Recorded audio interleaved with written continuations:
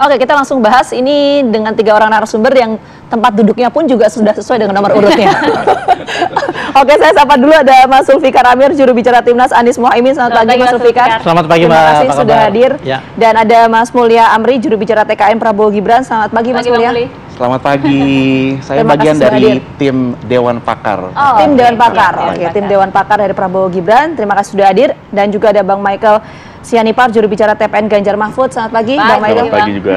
Ya. Terima kasih semuanya sudah hadir. Mungkin yang pertama kita bahas fokusnya soal infrastruktur ya. Karena kita tahu di dua periode kepemimpinan Presiden Jokowi kan ini yang menjadi prioritas utama adalah soal infrastruktur. Nah, kita coba pengen dengar dulu perspektif kita bicara infrastruktur dari masing-masing paslon ini ya. seperti apa?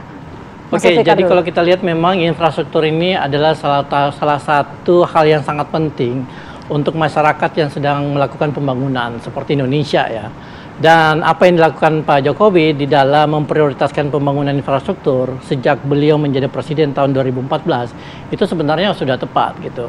Tetapi kemudian yang jadi masalah adalah bahwa infrastruktur ini memang dibutuhkan uh, dan kita perlu mendorong pembangunan infrastruktur ini, tetapi juga butuh perencanaan yang matang. Oke. Kenapa? Kalau misalnya kita sekedar membangun, membangun, membangun, tetapi tidak melihat kebutuhan di masyarakat, jenis infrastruktur yang dibutuhkan, skema finansial yang tepat, infrastruktur ini tidak akan bermanfaat. Nah, kalau kita lihat ada tiga indikator kenapa pembangunan infrastruktur di Indonesia selama hampir 10 tahun itu sebenarnya tidak memberi dampak yang terlalu signifikan. Pertama adalah eh, apa namanya eh, kontribusinya terhadap pertumbuhan ekonomi yang kalau kita lihat lima tahun terakhir itu sebenarnya tidak terlalu tinggi se- seperti yang diharapkan.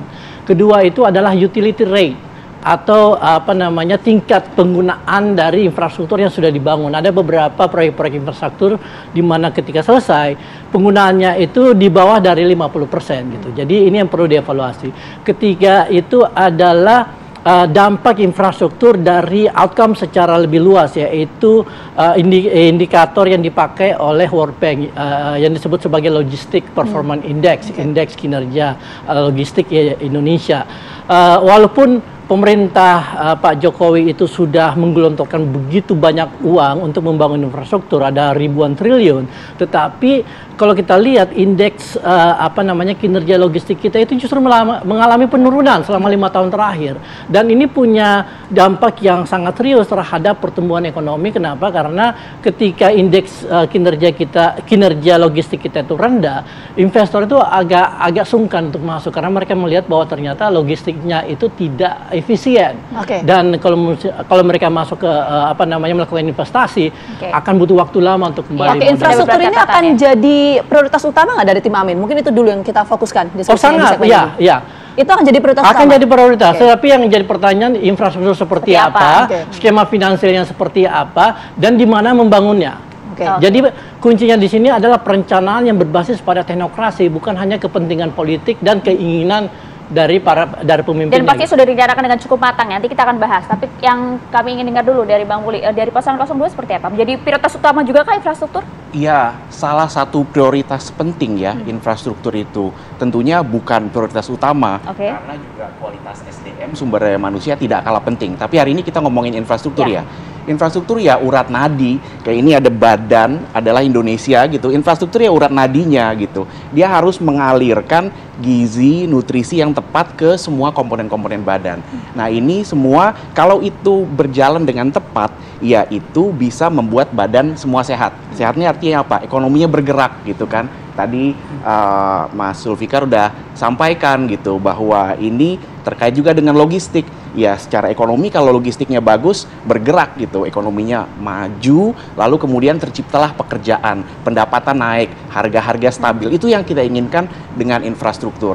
Saya senang sekali mendengar bahwa dari paslon 1 juga menganggap dari infrastruktur yang dikerjakan Pak Jokowi sudah tepat. Jadi kita ingin Meskipun ada beberapa catatan tadi, Mas. Eh, selalu akan ada beberapa catatan yang jelas sudah tepat dulu dan ini kita melanjutkan pembangunan infrastruktur yang sudah tepat dari era Jokowi sudah tepat juga dari era eh, SBY sebelumnya dan presiden-presiden sebelumnya jadi ada progres Indonesia yang sudah berjalan dengan baik diperbaiki lagi oleh Pak Jokowi dan akan diperbaiki lagi oleh Pak Prabowo dan Mas Gibran gitu jadi arahnya sudah tepat berbagai survei menyatakan bahwa em, approval rating terhadap Pak Jokowi yang tinggi itu karena merasa arahnya sudah tepat. Jadi ini yang akan kita lanjutkan. Infrastruktur harus dibangun terus-terusan. Bahwa betul akan selalu ada perbaikan ya itu. Makanya kami sebutkan melanjutkan dan menyempurnakan. Di mana-mana pembangunan infrastruktur, perencanaan juga akan selalu ada adjustment.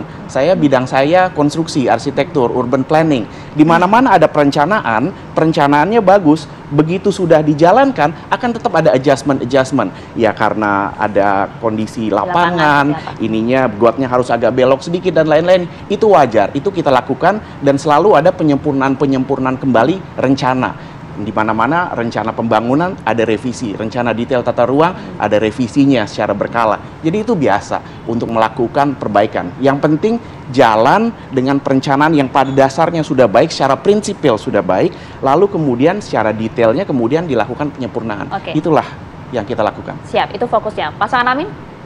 Ah, dari Ganjar Mahfud. Eh, de- eh, Ya. pa- pasangan Ganjar, mohon maaf. Ya, jadi kalau dari kami juga melihat bahwa infrastruktur adalah salah satu prioritas utama yang harus kita lanjutkan dan kita sempurnakan dan kita perbaiki. Ya, Karena eh, kita melihat bahwa apa yang dilakukan Pak Jokowi selama ini sudah tepat, sudah sangat baik. Ini yang dibutuhkan untuk ekonomi Indonesia ini bisa take off. Kebetulan memang lima tahun terakhir eh, kita terhampa, eh, ter- terkena dampak dari COVID, sehingga Oke. rasanya infrastruktur ini belum melihat eh, kita bisa eh, belum bisa melihat eh, hasil eh, yang sempurna begitu. Ini yang akan kita perbaiki ke depan. Eh, tapi kalau secara umum infrastruktur adalah backbone yang dibutuhkan untuk ekonomi kita bisa tumbuh. Dan target yang kita punya adalah untuk bisa mencapai 7% pertumbuhan ekonomi. Eh, yang perlu kita lakukan juga adalah untuk menyelaraskan supaya prioritas dari pembangunan infrastruktur di level pusat itu juga sama dengan apa yang dilakukan di level provinsi, kota dan kabupaten. Dan itu yang Pak Ganjar sudah eh, lakukan selama menjadi gubernur di Jawa Tengah. Jadi pada saat ada pembangunan waduk, pembangunan jalan tol itu kita berusaha menyesuaikan supaya itu bisa dirasakan dampaknya oleh masyarakat. Jadi penyelarasan antara apa yang dilakukan pemerintah pusat dan pemerintah daerah ini sangat penting. Dan itu satu fokus yang akan kita dorong ke depan. Oke. Termasuk soal tol laut. Tol laut juga adalah program yang dicanangkan oleh Pak Jokowi yang akan menjadi eh, fokus. Kita ingin mengembangkan karena untuk menurunkan tadi maritim ya. cost logistik eh, paling efektif bukan lewat darat tapi lewat laut. Itu sudah ada banyak kajiannya yang menyatakan bahwa eh, logistik lewat laut ini pasti akan lebih murah gitu. Jadi keberadaan tol laut ini juga untuk bisa me- menurunkan ketimpangan logistik yang ada di seluruh Indonesia. Jadi itu akan menjadi fokus kita. Tapi lebih dari itu pembangunan infrastruktur bukan hanya infrastruktur yang eh, kerasnya saja. Kita juga membayangkan infrastruktur hijau bahwa ke depan kajian-kajian juga menunjukkan kita harus sudah mulai mengarah kepada bagaimana memastikan infrastruktur ke depan ini mendukung ekonomi hijau. Oke. Bukan sekedar mendukung pertumbuhan ekonomi saja, tapi pertumbuhan ekonomi yang berkelanjutan. Jadi ekonomi hijau ini didukung juga oleh infrastruktur hijau.